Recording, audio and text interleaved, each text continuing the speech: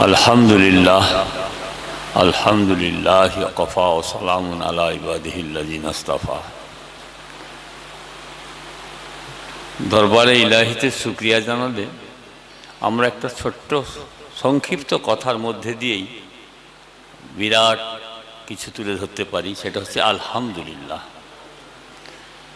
এরপরেই মহান বিশ্বনবীর সানেও স্মরণে আমরা বলি আসসালাতু আসসালামু আলা রসুলহিল করিম।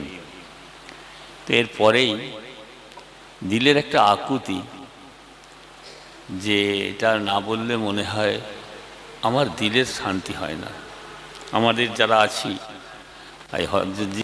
কেউ দেখেও নিয়েছি, সেটা আমি যে বলেছি আলহামদুলিল্লাহ রব্বিল আলমিন, আসসালাতু আসসালামু আলা রসুলহিল করিম ওয়াসালামু আলা ওয়ারিসে আম্বিয়া হজরতজি কুদ্দিসা সিররু মাহবুবে নবী ইল আলমিন।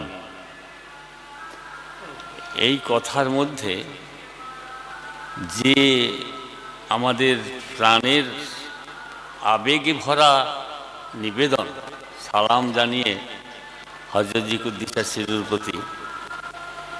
এইখানেও আমরা কি দেখছি? উনি আমাদের কি দিয়ে গেছেন? একটা ব্যালেন্সের শিক্ষা।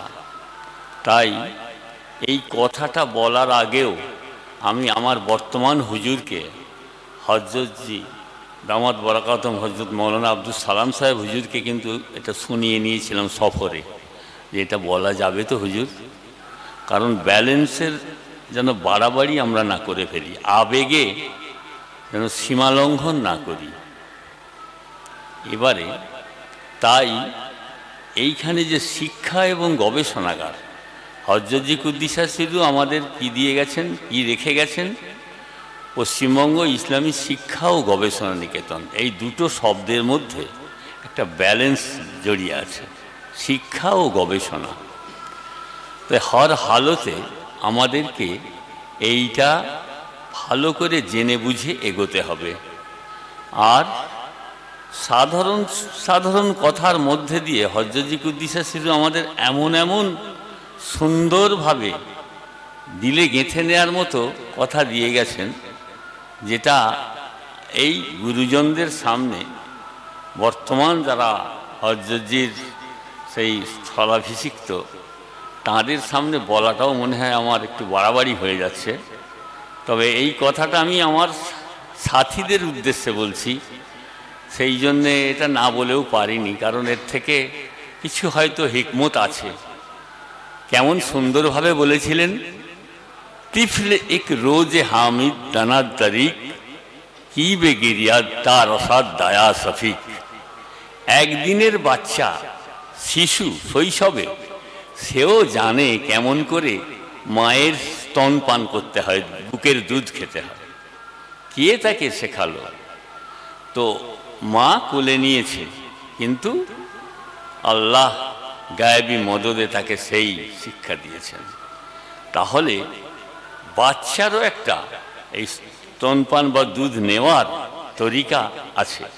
তো আমরা যারা মজলিসে এখানে বসি হজরতজি কুদ্দিসা যে এই প্রতিষ্ঠান, তিনি যেভাবে আমাদের জন্যে শিক্ষা, গবেষণাগার রেখে গেছেন, এখানেও জোড়ায় জোড়ায় সব জিনিস আমাদের নিতে হবে। সহবতও চাই, মেহনতও চাই। নিজের দিনের সেই তরিকতের পথের পথিক হতে গেলে নিজেকে এই মেহনতে জুড়ে নিতে হবে। সেই মেহনত খামখেয়ালি মতো নয়, তারও তরিকা হুজুররা আমাদের বাতলে দিচ্ছেন হজরজিও বাতলে দিয়ে গেছেন।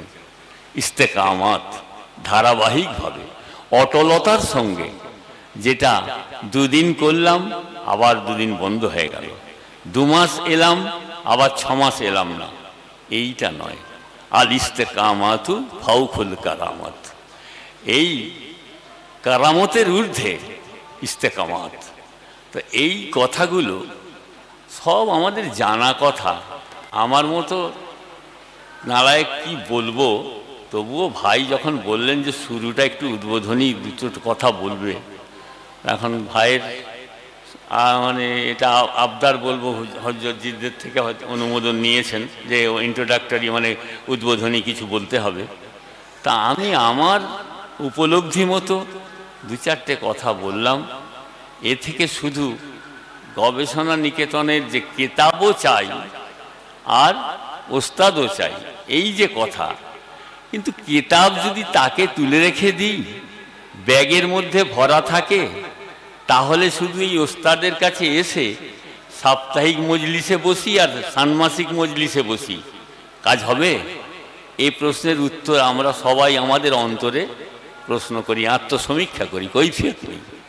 তাহলে কেতাবের যে তালিম আছে কেতাবের মধ্যে, সেই তালিম নিতে গেলে আমাকে কিছু মেহনতে জুড়ে যেতে হবে, ওই ধারাবাহিক মেহনতে।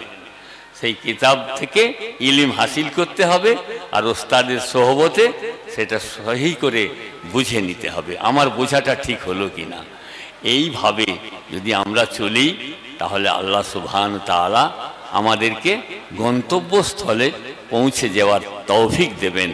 আর আল্লাহ প্রেমের প্রেমিক হয় আর আল্লাহ প্রেমের প্রেমিক হওয়ার যে পথ, সেও তো আমরা এখন এখানে যারা আছি, সবাই জেনে গেছি। কিন্তু জানার পরেও সেই মেহনতে তো জুড়ে যেতে হবে এবং জুড়ে ধারাবাহিকভাবে থাকতে হবে। কি? ফানাফিস সায়েক ফানাফিল্লাহ ফানাফির রসুল। হ্যাঁ যে ফানাফিস সায়েক ফানাফির রসুল ফানাফিল্লাহ আগে সায়েকের অনুগত হও সায়েকের আদেশ নির্দেশ মতো জীবন গঠনের মেহনতে জুড়ে যাই, তাহলে তিনি কেমন রসুলের তরিকা মতো শিক্ষা দেবেন এবং তাহলেই কিন্তু আল্লাহ প্রেমের প্রেমিক হতে পারব। আর আল্লাহ প্রেমের প্রেমিক হয়ে দুনিয়া থেকে যেতে পারলেই ইনশাআল্লাহ আমাদের জীবনের কিছুটা একটা করে যেতে পারলাম আমি আমার সাধ্য মতো। করার ইচ্ছা আল্লাহর হাতে, কিন্তু আমি আমার সাধ্য মতো মেহনতে থেকে এগিয়ে যেতে পারলাম। আল্লাহ আমাদের সবাইকে এইভাবে সহি সমজ দান করুন আর এগিয়ে যাওয়ার তৌফিক দান করুন।